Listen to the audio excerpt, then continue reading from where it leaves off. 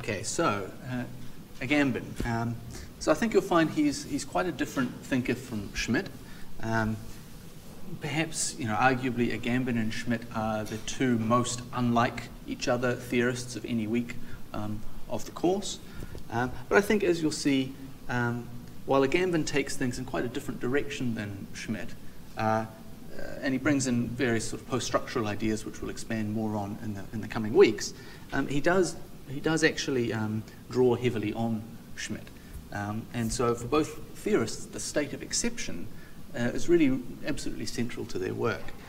Um, and so that's, that's why I've put them both together in this week that I've titled uh, The Exception. So even though they may seem very different, I think there's, there's something important in common between the two of them. Uh, okay, so today, as usual, we'll look at Agamben's uh, life. Um, then we'll consider some of his ideas that have been taken up in international relations. Um, so we'll consider his idea of bare life as, as distinct from, uh, from bios and, and zoe um, and its relationship to sovereign power. Uh, we'll look at his idea, or the idea of, of biopolitics that he didn't invent, but he, he takes up. Uh, and we'll think about how bare life and the state of exception uh, relate to his idea of the camp.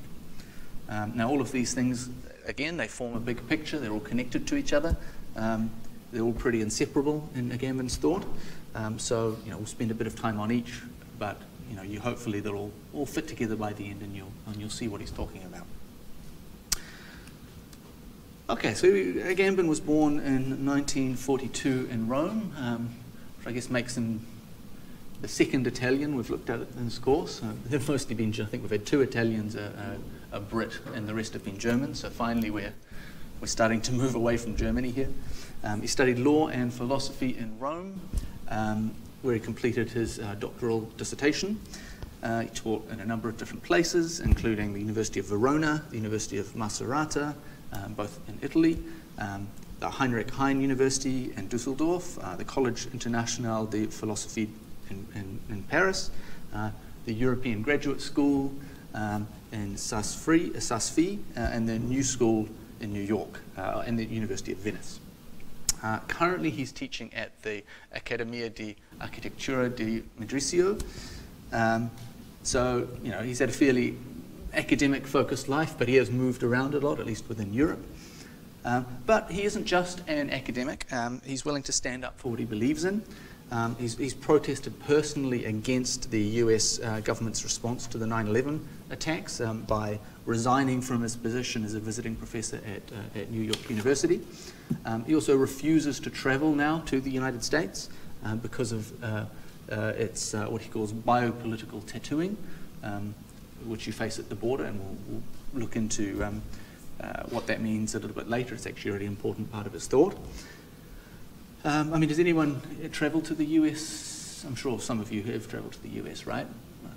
Like what, you know, you go through the border and you get a whole lot of information taken from you, fingerprints and photographs and, and all this kind of, uh, all this kind of stuff. Um, and for reasons that will become apparent as we go through Agamben's ideas, um, this can be quite problematic, and so Agamben refuses to participate in this whole, in this whole system. Okay, one of the key distinctions that underwrites Agamben's uh, political thought generally is the idea of bios and zoe, um, which he takes from the well-known um, Greek philosopher Aristotle. Um, so he suggests that Aristotle's conception of the state is based in the difference between these two terms. So both of these terms in Greek mean life, um, but they identify two quite different things. So zoe uh, refers to the biological fact of life, right? What, and um, we can associate this as well with what we might call the private sphere. Um, so, you know, the Zoe is our existence as biological, natural, uh, living beings. Uh, bios, by contrast, is public life. It's uh, uh, the realm of politics, right? So when we're talking about the good life or when we're talking about uh, a good life, um, bios is what we're talking about. Right? So we're contrasting here this natural life uh, with political life or life in a community. Now, this distinction was really important for Aristotle uh, because it allowed for the regulation of um, uh, sorry, the relegation of natural life to the household, um, the private sphere, uh, while at the same time allowing us to discuss the good life um, as developed through participation in a political community, right, in a polis. Now, um, this distinction, again, Agamben argues, is still really central to Western politics.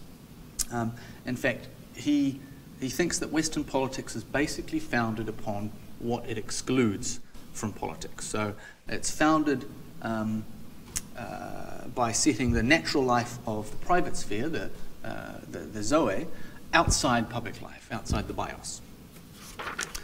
Um, and that's what we find in, a, in, in this uh, typical liberal account of politics, right? An account of public sphere and private sphere. Um, and it's even what we find in thinkers like, uh, like Habermas. However, it's debatable whether um, this account of the sharp distinction between the Zoe and the Bios uh, is really what we find in reality and in practice. Um, and Agamben thinks that political theorists have more or less just assumed this distinction without really interrogating it um, all that critically. Uh, one exception to this, um, in Agamben's view, uh, is Michel Foucault, who we'll be looking at um, uh, just after the break in week seven. So Foucault uh, Agamben thinks, um, critically theorizes the relationship between Zoe and Bios in his account of biopolitics, which, which Agamben draws on in his own work. So biopolitics for Foucault um, is a kind of political rationality which sees the administration of life and of populations uh, as its subject. Right? It aims at ensuring, uh, sustaining, and multiplying life. Um, so it fundamentally aims, um, uh, in other words, at ordering life. So it orders life for the purpose of ensuring, sustaining, and multiplying it. Um, now we'll, we'll, touch on biopolitics a little bit again, I think, when we um, discuss Foucault.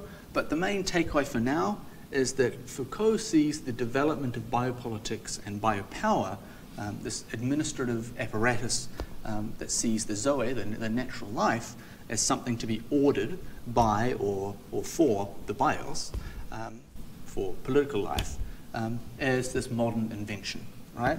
So biopolitics for Foucault is this new form of politics that came about when the modern state uh, ceased to use purely repressive or negative force or power.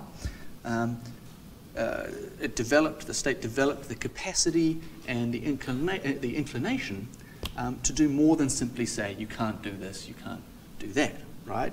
Um, it, it, it, developed on top of this power um, a network, this closely meshed, uh, closely meshed grid um, of material coercions uh, for the purpose of managing the Zoe, for the purpose of ordering and structuring um, life in the interests of the state. So as Foucault puts it, biopower, which is uh, biopolitics um, what underlies biopolitics.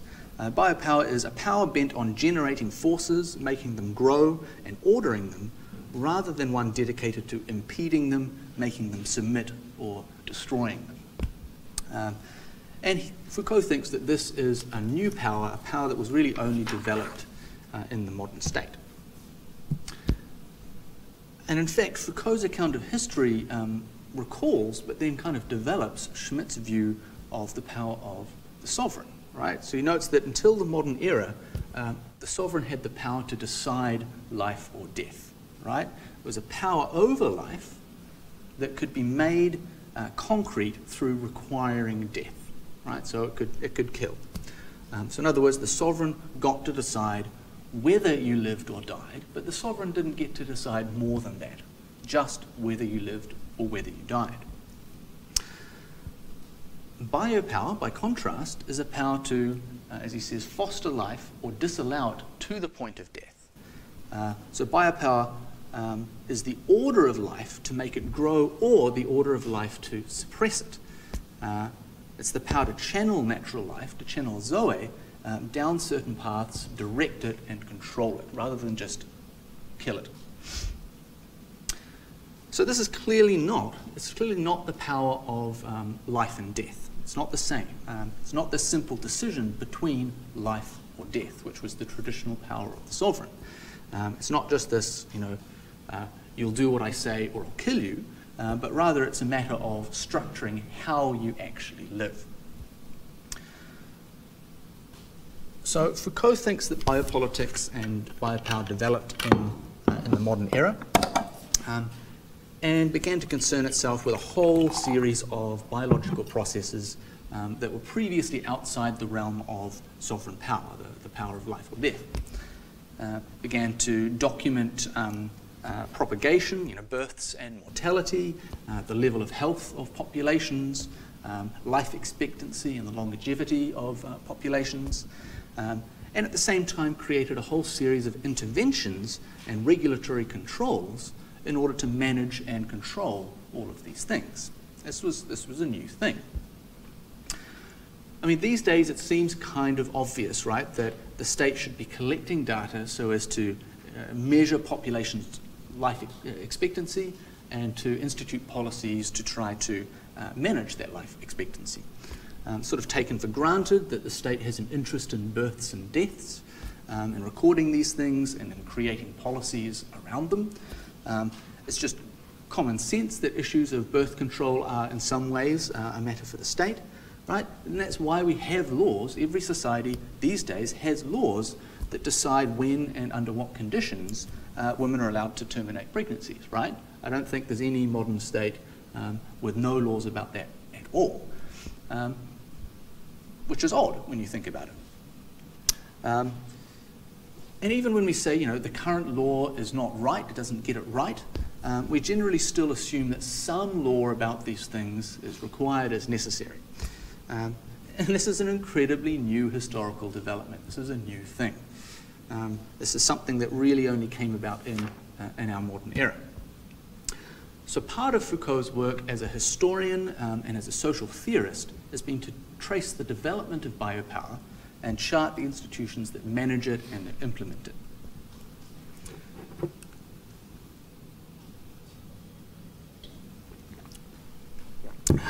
So Agamben thinks that Foucault, uh, Foucault, in his concept of biopower, he's got a lot right. He thinks he's explained a lot about the way society, uh, modern society works. Um, because biopolitics and biopower um, uh, is this really useful way of making sense of the connection between the zoe and the bios, right? It shows that the zoe is not outside politics, but it's actually right in the center of politics. The management of the zoe is part of the bios right? Our natural lives are in the modern state uh, a matter for state power to manage and control. So Foucault's work for Agamben um, doesn't just take this distinction between Zoe and Bios for granted, uh, tries to understand the relationship between the two things. But Agamben is not 100% on board with Foucault um, for one main reason. He doesn't think that biopolitics is actually as new as Foucault claims it is. Uh, so unlike Foucault, he doesn't consider it to be something that's developed only in the modern era. Now, I think he's willing to concede to Foucault uh, perhaps that the specific instantiation of biopolitics um, that Foucault charts in his work is a new, uh, is a new thing. Um, but in his view, biopolitics has actually always been at the center of politics. Uh, and in fact, he argues that the production of a biopolitical body is the original activity of the sovereign power. So for him, uh, the connection between Zoe and Bios is not a modern thing, it's not a new thing, it was always something that was at the heart of politics. Uh, and in fact, he thinks that the ability of the sovereign to control and manage Zoe uh, is a basic power of the sovereign. It was never just the ability to decide life or death, uh, it was also this management of the Zoe as well. So in other words, for Foucault, society became biopolitics, um, but for Agamben, this was actually the original state of the political realm. Uh, Zoe was never outside politics, it was included in politics right from the very start.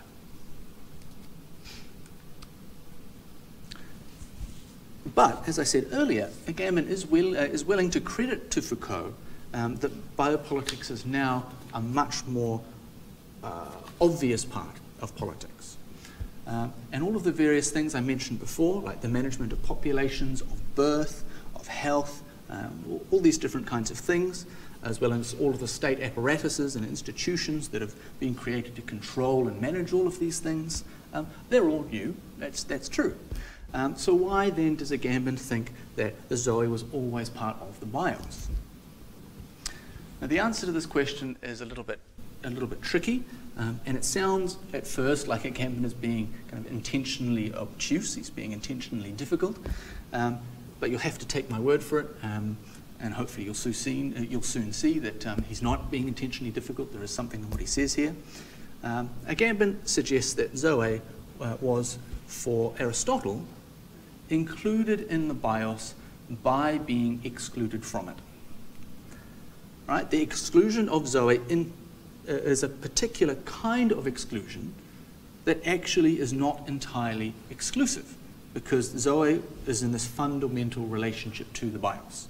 Um, so it's not a straightforward exclusion, it's what he calls an uh, inclusive exclusion, which you know, sounds weird, but it does, it's a term with meaning. So yeah, you're probably thinking, you know, inclusive exclusion is not a thing. You're either included in something or you're excluded from something.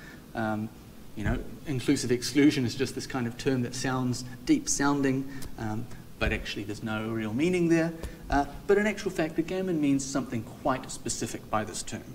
Uh, and this concept ends up being really, really important for his thought.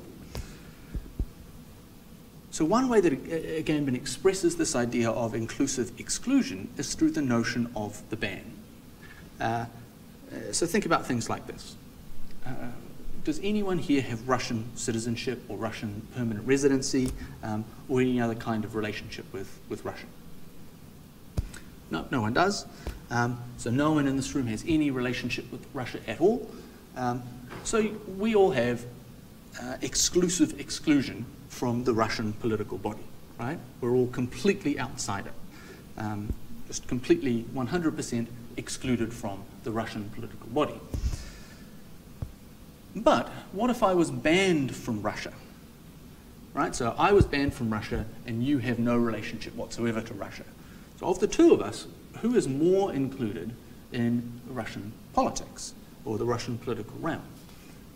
What do you think? Yeah.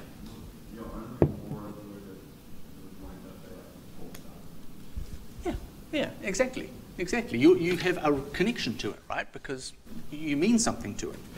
Uh, so the basic idea is that by being actively excluded, specifically excluded, um, by being banned from Russia, I have a fundamental connection to it that none of you have. I'm included in the Russian political realm in a sense by virtue of the fact that I've been specifically put outside it. Right? You have no connection whatsoever to Russia. There's no fundamental relationship at all between you and Russia. Um, but I exist in this relationship of inclusive exclusion, right? You're just, you're just excluded, but I'm inclusively excluded. So this is where we get to the idea of, of Schmitt's thought uh, when it comes to Agamben. So as we discussed on, on Tuesday, for Schmitt, uh, sovereign is he who decides on the exception. So a sovereign has the power to declare, uh, uh, declare a state of emergency and to suspend any and all rules in order to do whatever they deem necessary. Um, and if you recall, uh, the sovereign's power to decide, to decide on the exception, also extends their, uh, uh to their ability to declare uh, something or someone an enemy. It's, so, you know, part of this is the ability, the power to decide on the distinction between inside and outside. Right? No one but the sovereign ultimately has this power. only the sovereign can determine that something is the exception um, and can decide how to relate um, uh, in response to that exception. so for, for Schmitt, this is the basic power that characterizes the nature of the sovereign. Thinking about uh, the sovereign's power to decide on the exception in this way um, is maybe a little bit too, uh, a little bit too limited for Agamben's view. So he agrees with uh, uh, philosopher uh, Walter Benjamin, who we won't be looking at in this course. Um, but Benjamin is one of the theorists who uh, uh, received the sub subterranean influence of Schmitt that I referred to yesterday. Um, and in fact, uh, in Schmitt's later life, when he had no official position um, and basically wrote all of his books from home, uh, Benjamin was a, was a frequent visitor to his, uh, to his house. Now, Benjamin's view is that Schmitt is right in thinking that the, thinking that the sovereign power um, is to decide on the exception. But he thinks that we focus overmuch on the state of emergency, those times that are clearly instances of uh, uh, the sovereign stepping in and exercising their fundamental power. In reality, uh, Benjamin thinks, uh, these days the state of emergency is basically the rule, right? It's not something that's anymore isolated to uh, emergency periods. In fact, he thinks the sovereign can and does decide to include or exclude uh, on a pretty much a daily basis, on a regular basis. Um, so this power to decide on the exception is, he thinks, no longer actually the exception itself. Uh, it's become the rule. It's, it's something that just happens all of the time. so we can think of Agamben as bringing together these three ideas. So we have the idea of the ban, right, the idea of the inclusive exclusion. Uh, we have Schmitt's definition of uh, sovereignty as the ability to decide on the exception. Uh, and we have Benjamin's view that the state of exception is permanent, it's ongoing, it's not this exceptional thing itself. All of these three things work together uh, to show the way that life itself, natural life or, or Zoe, uh, is politicized. Um, through, so basically, through exercising the power of, of sovereignty, by exercising the, the ability to, to, decide, the ability to include, the ability to exclude, uh, the sovereign can abandon natural life to the unconditional power of death. It can abandon life to the unconditional power of sovereignty. Because remember, right, the sovereign can do anything. It decides on the exception and it decides on what to do about the exception. So the sovereign decides that particular individuals, that particular natural life is outside bios, right? But in excluding it from bios, it makes it so that it is no longer Zoe either, right? Because it, it was Zoe before, it was always Zoe before, it started off as Zoe. Um, but by politicizing it, by politicizing Zoe, from actively excluding Zoe from the bios, natural life becomes neither Zoe nor bios. It's neither of them anymore. Instead, that life, Agamben thinks, is completely abandoned to the raw power of the sovereign. Uh, this is the power to do what it likes, when it likes, subject only to its own decision, subject only to its own will.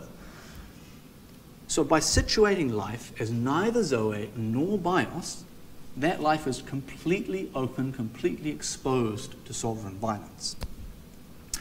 Once you're in that state, right, uh, the sovereign has absolute power over you. You're neither a member of the political community um, and therefore subject to the law, nor are you in the private sphere where you're protected um, from the sovereign by being outside politics, because the private sphere is supposed to be outside politics. So your natural life, your private existence, has been included in the political by the virtue of its exclusion from the political. Um, which means you no longer have any clear status. You're no longer clearly Zoe, you're no longer clearly Bios. Um, and this is what a Agamben calls bare life. Um, and this idea, this idea of bare life, is really absolutely central to his, uh, to his political thought. So this is something I really want to, to go over at length. Uh, I really want you to get, a clear grip on this. So if you don't have a clear grip on it by the end of this lecture, please bring it up again in tutorial because it's really, it's really important. All right, so to reiterate then, bare life is not natural life uh, because natural life is outside politics right? The distinction between Zoe and Bios is supposed to capture this. Zoe is the private sphere, and Bios is the public sphere. Zoe is our existence as, uh, as living natural beings, and Bios is our membership in a political community. So bare life then can't, it can't be natural life because bare life is politicized. It's subject absolutely to the power of the sovereign. So we can think of bare life perhaps as politicized natural life. It's not, therefore, something that we're born with, all right? It's not this natural life that we put culture on top of. Um, we can't get stripped down to bare life, um, as if bare life was this original form that, that um, uh, bios is, is, put on top of. Um, our original form of life is natural life, it's Zoe. Um, bare life is a departure from natural life. It's something that happens to us, it's not our natural state. So, in other words, bare life, it's not Zoe, it's not bios. It's neither of those two things. Uh, we can think of it instead as life exposed to death. It's life exposed to sovereign violence through the decision of the sovereign to exclude that Zoe from the bios. Okay, mean, we can stop for a sec if you have any questions about that, because it's a, it's a tricky idea. This sort of inclusive exclusion is not intuitive. Yeah? Can you um, explain the three the different states? Uh, like, yeah, so, so Zoe, bare life, uh, Zoe is not bare life, Zoe is natural life, right? Um, and in natural life, we're outside the power of the sovereign because we're not, it's not political. So the private sphere is supposed to be this protected realm um, that is where we just live our natural lives, right? We leave that Zoe to enter the bios. And the bios is the political realm, and the political realm is governed by law. When you're uh, excluded by the sovereign from the bios, you don't go into the Zoe again. You can't go back into there. You're not protected anymore by, by being able to escape into the private sphere. But also, you're not, you're not governed, you're not protected by law in the bios anymore. So you're outside both of them. And that's bare life. Right? It's life that has been excluded from the bios and by virtue of that excluded from Zoe as well. So you're not protected by law, you're not protected by being outside politics. You're in politics, but you're not governed by the law. And so the sovereign can just do anything it wants to you. You have no rights at all. Does that make sense? any other any other questions about that?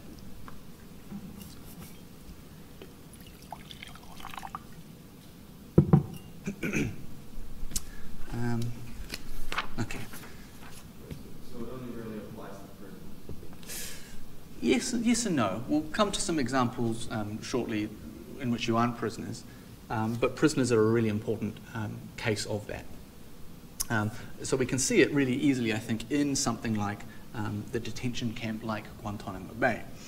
Um, and Agamben actually focuses and discusses in his own work specifically the, the internment camp at the US Naval Base in, in Guantanamo Bay in, in Cuba.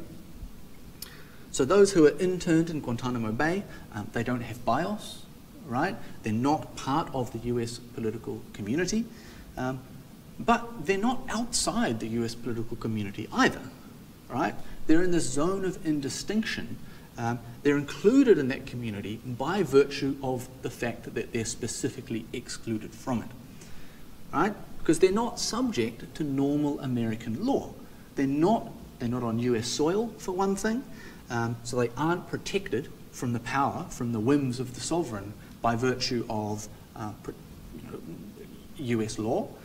Um, but they're absolutely not outside uh, the US political community um, because they're, they're prisoners of the United States, right? Um, so as a, as a result, they live in this realm of bare life, right? They have neither bios, they have, uh, nor, nor Zoe. Um, they've been decided by the sovereign um, that they're excluded, right, that they're the exception, uh, and as such they're completely open, completely exposed to sovereign violence. So Agamben talks about their status as, uh, as unlawful enemy combat, uh, combatants. Um, and he thinks this is, this is basically meaningless terminology, right, in the sense that it's not a category that's at all recognized um, by the international community. Uh, by being called an unlawful enemy combatant, uh, they're effectively banned from international legal and political frameworks, right? They're not US citizens, so, um, uh, you know, they're not, they're not captured by US law, so therefore they, they're not lawful criminals. Um, if, I, if I committed a crime in the US, uh, generally speaking, I'd just be a criminal. I'd be a lawful criminal. I'd be a criminal under the law. Um, I'd be included in the US community um, uh, fully by virtue of being a lawful criminal, right, or a criminal under the law.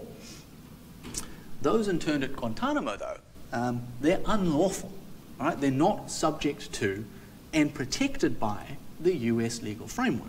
They're the enemy. On the other hand, if they were just enemy combatants, right, they'd have certain rights under international law. Uh, the US has signed treaties, signed declarations setting out what they can and can't do legally according to international law uh, to enemy combatants. But unlawful enemy combatants, they're outside this framework as well. So they're simultaneously inside the law and outside the law, right? They're between international law and domestic law, uh, and they're protected by neither of those things. So this category, this category of unlawful uh, enemy combatant, is one in which the sovereign can decide that certain humans are no longer meaningfully human. Right? They're neither Zoe nor are they bios. And the sovereign can therefore do anything they want to these people. They can torture them, they can kill them, they can do anything they like with more or less total impunity. I think another example of this is uh, maybe a little bit closer to home. Uh, the Australian uh, camps on Manus Island and, and, uh, uh, and, and Nauru. Um, because, of course, what exactly is the status of the people in these camps? Right? They're, in a way, unlawful refugees. Right? They're not simply refugees, because if they were refugees, they'd be covered by uh, international law, right? Um, Australia has signed up to various international legal conventions about what you can and can't do to refugees. Um, but nor are they covered by Australian law. Uh, they're not on Australian soil, for one thing, right? Um, so they're absolutely subject to the whims of the Australian state. They're neither inside nor are they outside the Australian political uh, community. Uh, they're not inside, because they're not protected by Australian law, um, but they're not outside either because they're literally the prisoners of the Australian state.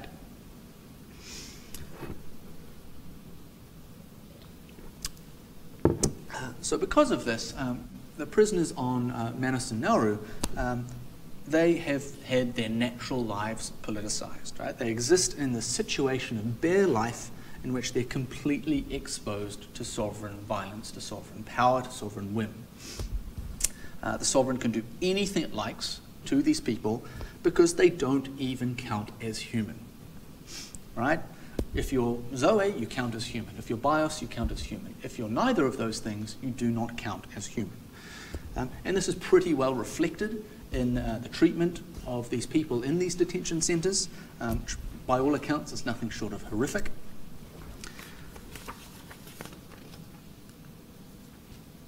Another example, maybe this gets to, to your question before about, about prisoners, um, and I think one that affects us a bit more directly, um, is that of airports.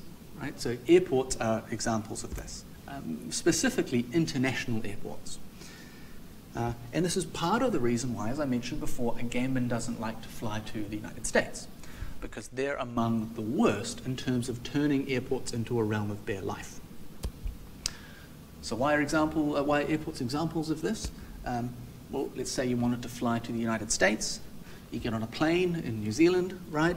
Um, probably Auckland Airport, but not necessarily. Uh, then you fly to usually San Francisco or LA, the closest. Um, and you disembark at that airport, right? But when you disembark, you're not in the United States. You have to pass through customs first. So in this space, between getting off the plane in San Francisco um, and passing through customs, you're in this zone of exception. Uh, you don't have bios, you're not protected by New Zealand law, right? You're not in New Zealand anymore, um, and you're not protected by US law because you're not in the US, right? And presumably you're not a US citizen. Um, But of course, physically you are in the US, so the US state has power over you. Um, and in fact, it has pretty much unlimited power over you. Right? In the airport, you become bare life. Uh, your natural life has been exposed to the sovereign violence. Um, so the US border guards, they can take you aside, uh, they can lock you in a room, they can contravene all of your fundamental rights um, whenever they like, uh, because you don't have any rights in the airport. Right? They don't have to justify anything they do to you, um, uh, because the sovereign, the state, has declared the airport a zone of exception uh, or a zone of emergency. Right? When you're in the airport, you are the exception. So you're included in, all right, you're open to sovereign power uh, because you've been specifically excluded from the BIOS, from the American political community. Um, but you're not Zoe either. You're in the state of inclusive exclusion. You're between Zoe and BIOS. And this is why the US uh, and many other states now um, can undertake what Agamben calls biopolitical tattooing. Um, because since you've been, uh, since you've been deemed to be in a zone of exception in the airport, uh, they can force bio biopolitical information from you that you would never have to give in any other situation. Right? If a police officer came up to you in New Zealand or in the US and said, all right, we want your fingerprints, we're going, to, we're going to put them on our file, you would just say, no, you have absolutely no right to demand that of me. If they arrest you for something, they can take your fingerprints. But they can't just demand fingerprints randomly from random people. But at the border, all right, the airport, um, they can demand that information from you, and there's nothing you can do about it. They can demand this biopolitical information, um, and they can then use that information as a form of biopower, as a form of you know, managing and controlling people and controlling populations. Now we can think of these kinds of spaces as what Agamben calls the camp. Um, so Agamben traces the emergence of the camp um, to concentration camps in uh, the late 19th and early 20th centuries. Um, and historically, these camps are associated with state of emergency, um, state of exception, and, and martial law. Um, so the camps in the US during the Second World War that interned Japanese American um, citizens, like this one here, uh, uh, they're a pretty good example of this, I think. Uh, the camp was deemed an exceptional space uh, uh, uh, and this space was external to the legal order, right? Due to the state of emergency due to the war. Um, so Agamben describes camps as a piece of territory that is placed outside the normal juridical order. But in line with what we've been discussing, uh, the camp is not simply an external space, because the camp uh, excludes what's captured inside the camp. So the Japanese Americans uh, living in the in, uh, internment camps, and there were a lot of them, about 100, 150,000 uh, uh, Japanese Americans interned in these camps, um, were excluded from the juridical order by being included in these camps. Uh, so in this way, this, the, the, camp blurs this conventional uh, spatial distinction between internal and external. In the camp, you know, law is suspended and exceptional processes become the rule. Um, and in this way, Agamben describes the camp as the most absolute biopolitical space that has ever been realized. A space in which power confronts nothing other than pure biological life without any mediation. So those in the camp, uh, those in the camp, they've been made into bare life, um, and the power of the sovereign can operate on them directly without any kind of mediation at all.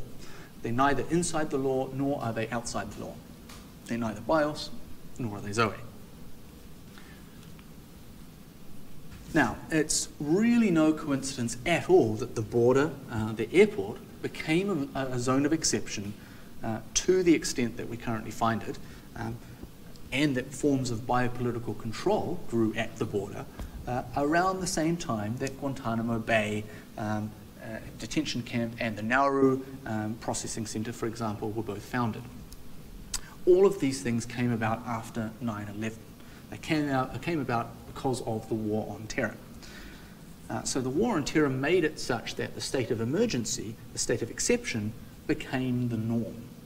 So for a Agamben, this realm of bare life, uh, this realm between Zoe and Bios, became uh, or has become coincidental uh, with the realm of politics. Right? So originally he thinks the realm of bare life was at the margins of the political order, uh, but he thinks that over time, increasingly, all politics becomes uh, part of this, um, pl- a place of inclusive exclusion. Right? All politics, especially after 9-11, has become, has become governed by uh, the arbitrary ability of the sovereign uh, to act on any of us at any time as bare life. Um, and this may seem like an extreme conclusion, but I'm, I'm not sure it is. Uh, I think it's harder to envision in New Zealand um, because while we've been involved in the war on terror in some ways, um, we're kind of also uh, somewhat on the periphery of it. Uh, but I think generally speaking, if you're declared a terrorist, um, if you're declared, you know, if you're declared a terrorist, you are declared outside uh, the legal order in some pretty important ways. Um, because terrorists are, after all, the enemy, uh, and the enemy is conceptualized in this way that makes them not really even human. Uh, so the designation terrorist brings with it the kind of inclusive exclusion uh, that puts you in this indistinct zone of bare life. Um, I think, you know, in fundamental ways, being declared a terrorist uh, means losing your fundamental rights. You're subject directly and in an unmediated way to the will of the sovereign. Uh, anything can be done to you, right? You're completely open to the sovereign violence. You can be tortured, you can be imprisoned indefinitely, and that's especially the case in the US after the, um, uh, the Patriot Act was passed. Um, you can be placed in, in, places like Guantanamo Bay still, uh, without the government ever really having to justify doing so. And the reason for this is that terrorism is this constant, ongoing state of emergency. It's this permanent state of exception um, that's at the heart of the way that politics now works um, in many so called developed democratic countries. Now, of course, the sovereign has the power to declare anyone at any time a terrorist. Right? They don't have to justify this uh, because once you're a terrorist, you are you're beyond, you're outside this legal framework. Um, so the state of emergency, the state of exception, is ongoing and encompasses us, uh, all of us, all of the time. Uh, sovereign decision could at any moment put us, any of us, in the realm of bare life.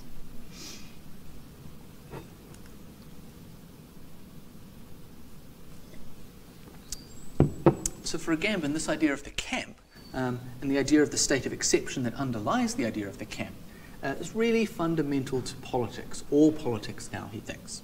It's fundamental to the current political order um, and the way that power operates within this political order. So the camp, he thinks, is the spatial, particular spatial manifestation of this logic of power. Um, he thinks this, the camp itself is symptomatic of this logic of power. It's not simply this random thing that occurs for various contingent historical reasons. Um, it's really it's something that comes out of the fact that the state of exception has become uh, the rule. So in this way, Agamben describes the camp as the hidden matrix and nomos of the political space in which we live. So camps are these spatially distinct uh, uh, states of exception, um, and they disclose to us the basic fundamental structuring of politics uh, and life more generally um, that underlies modern society.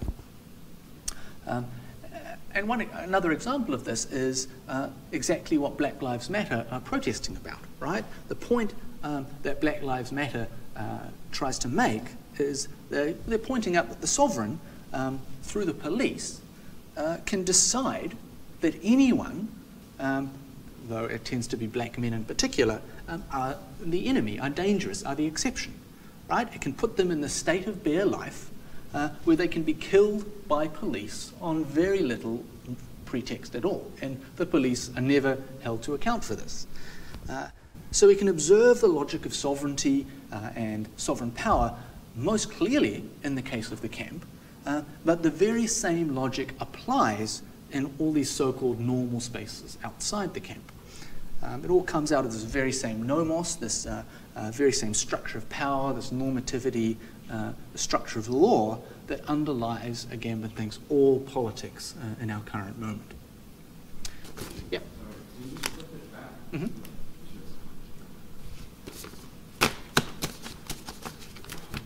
Yep.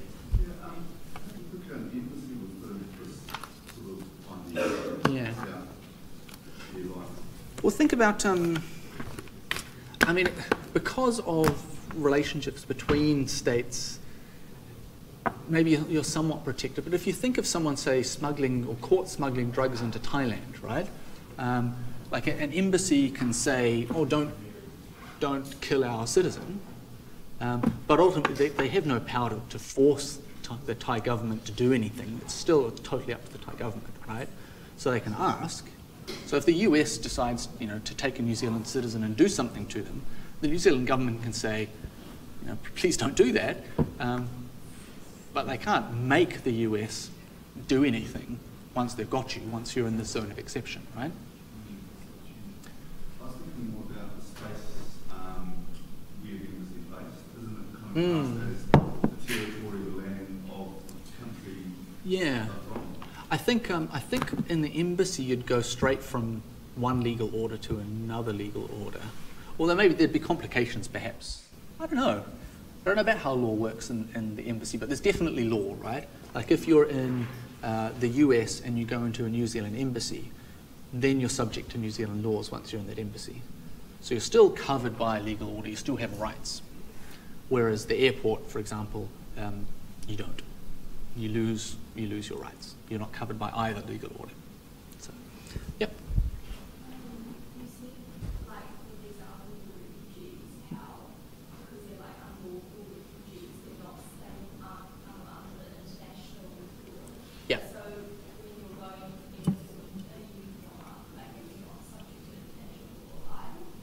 Um,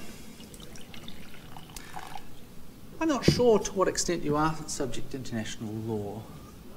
Uh, yeah, I mean, I'm, I'm, honestly not sure. You're certainly.